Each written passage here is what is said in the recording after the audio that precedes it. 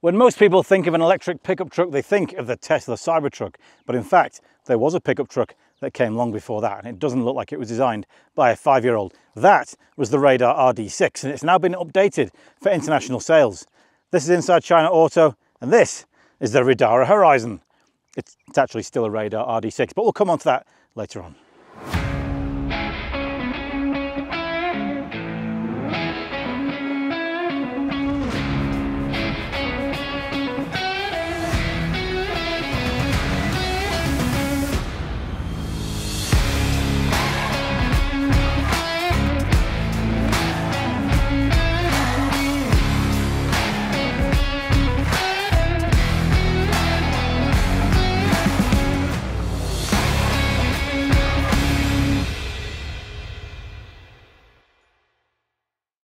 Yes, this is the Riddara Horizon, or to be 100% honest with you, this one's actually still a Radar RD6. The RD6 was the original model, the Horizon is the updated version. It's got a few cosmetic changes on the front, a few things on the interior, and a few changes to the powertrain. But it's about 95% the same car. So I'm still going to call this the Riddara Horizon review, even though we've got the slightly older version of this car. Radar is the Chinese name. Riddara is the international name for markets like Thailand and Australia. Just to get that clear. But what is it? Well, it's a fully electric pickup truck built from the ground up as a fully electric pickup truck. So it's not a converted ICE platform, which does give you some packaging benefits and also ride benefits. It means you get MacPherson struts up at the front and multi-link suspension at the rear. It's actually quite a bit smaller than a Ford F-150, for example. I'll show you a picture on the screen of these two side by side. It's quite comical, the actual difference in size. But this is definitely more of a leisure or recreational pickup truck. So it's actually got a payload of up to 860 kilograms in the back there, which is not too bad. It's not the largest in the world. Radar kind of aiming this car more at people who want to go camping, go mountain biking, take their motorbikes up into the mountains, do outdoorsy things, you know, surfboards, stuff like that. Not necessarily carrying sacks of sand around in the back of your truck, but you can do that if you really want to. So it's fairly conventionally styled. It looks like any, ord any ordinary SUV, to be totally honest with you. Difference is you do get a 70 litre frunk in here and you get a 2.2 kilowatt 220 volt socket in the front for plugging extra stuff in. 17 inch alloys, not the biggest in the world, but look, we do get big chunky side profile tyres there because that does help you, of course, on soft and kind of loose surfaces. I mean, basically from this point forwards, it just looks like an SUV, a normal SUV. You've got your roof bars on the top there, chunky styling, big chunky door handles here, quite a high road, uh, quite a high ride height as well. And then you get to this part here, and this is where it kind of gets more exciting for those outdoorsy types. Because this is where you get all of your practicality at the back of the truck. You get an electric release tailgate there, which is nice and strong, so you can sit on there if you want to, do some fishing off the back of your truck, or of course just get your bikes and your paddle boards out and things like that. We do of course get a 1.525 meter long load bay here, up to 1,200 litres of storage there. We get metal hooks here and here as well, so that you can strap stuff down if you want to. You can even convert this into a camper van if you really, really want to. Now, if you don't want to do that, you do get plugs back here, two 16 amp, two 10 amp outlets there, and two 12 volt sockets as well for plugging in all kinds of peripheries like chargers and coolers and things like that. In fact, there will be some packages coming with this car that will give you options to take this car camping and you can plug them all into the back of this truck. We get pretty attractive lights at the back here, full width daytime running light there, kind of an X-shaped light graphic here, twin reversing lights as well. And this truck will also be capable of having a tow bar capable of towing up to two and a half tons.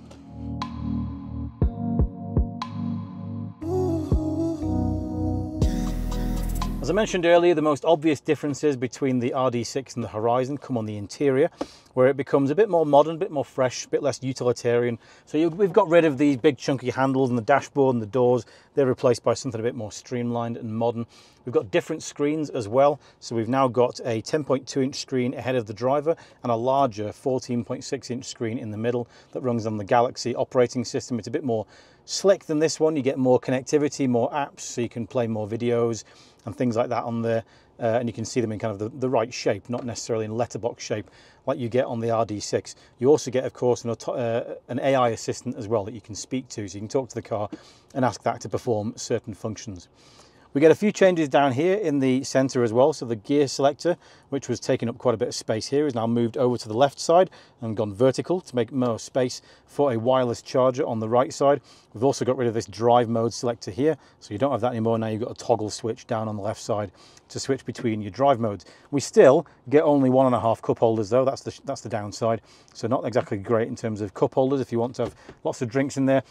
Overall, I would say the interior is pretty nice for a pickup truck. We've got a lot of soft touch materials up on the dashboard. Yeah, we do get some harder plastics on lower surfaces and up there on that kind of binnacle around the dashboard. But overall, it does feel quite soft. We got ourselves some synthetic leather on these big chunky seats. I do like the seats. They are quite comfortable. They are only six-way adjustable for the driver, four-way adjustable for the passenger.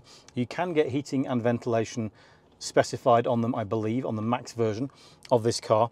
The only downside I would say is the driving position isn't exactly ideal. That's mostly down to the fact that the steering doesn't have enough reach on it. I'd like the steering wheel to come just a little bit closer so it feels a bit less like I'm stretching towards the wheel. Also, the footrest on the left side is a little bit short. So if you've got big feet like me, your toes will feel like you need to kind of twist your foot around just a little bit.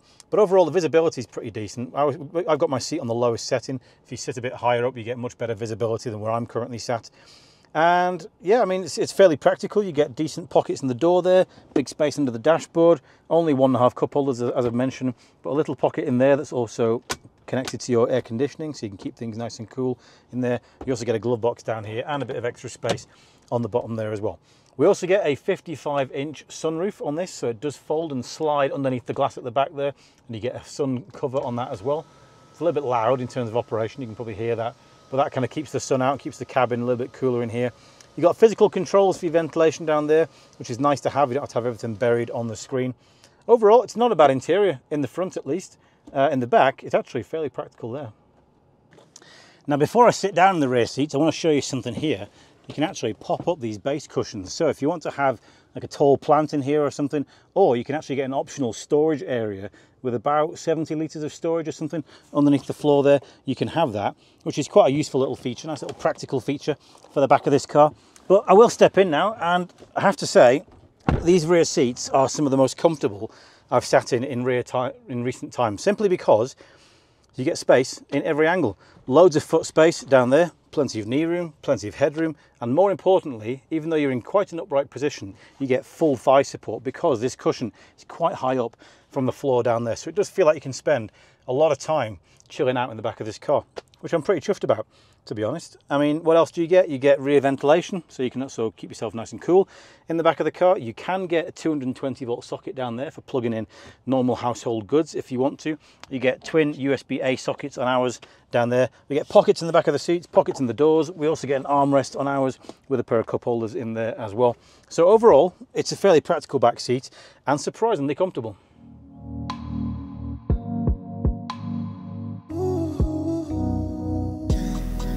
I'm going to be honest with you, I've never driven a pickup truck before, never driven an EV version or an ICE, so I can't really compare this to any of those to tell you whether this feels utilitarian or not, or feels better than they do. So I'm just going to tell you what it feels like to drive in general.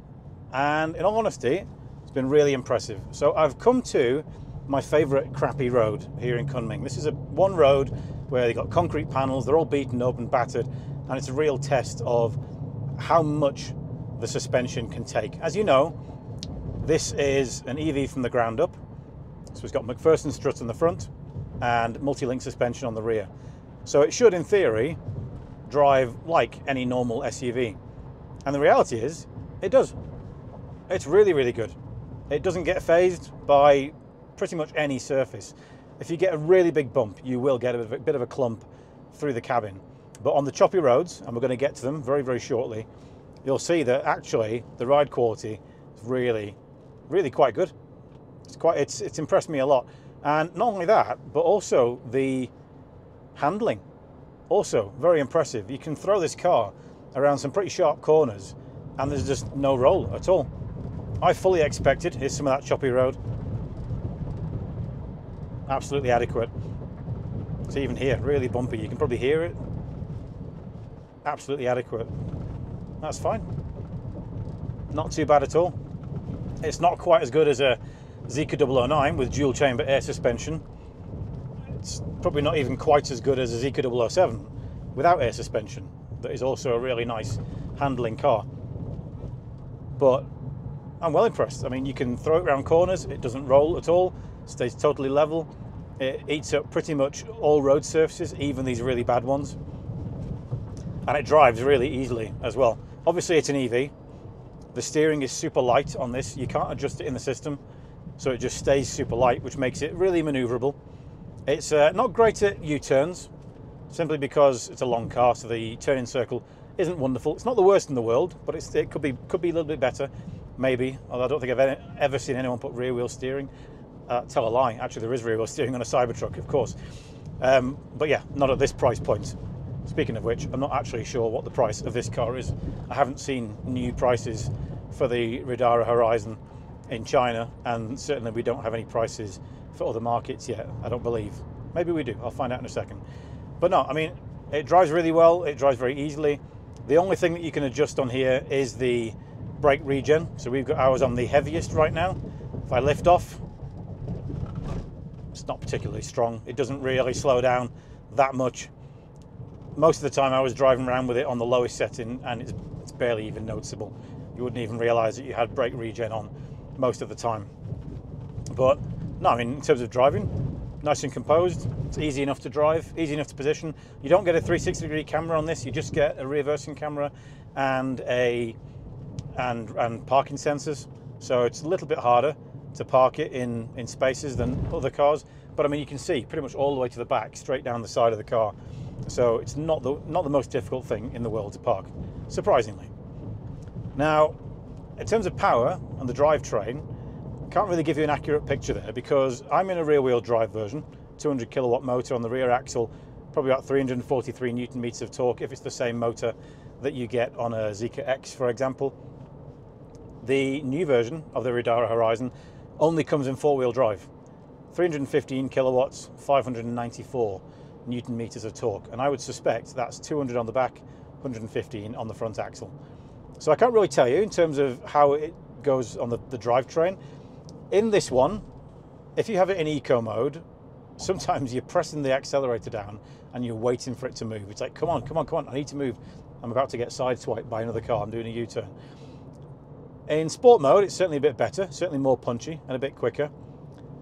In the dual motor version, the all-wheel drive version, which the new one will be, it will do 0 to 100 kilometers per hour in 4.5 seconds, which is quite ridiculous. That's probably one of the fastest pickup trucks in terms of acceleration that's on the market today.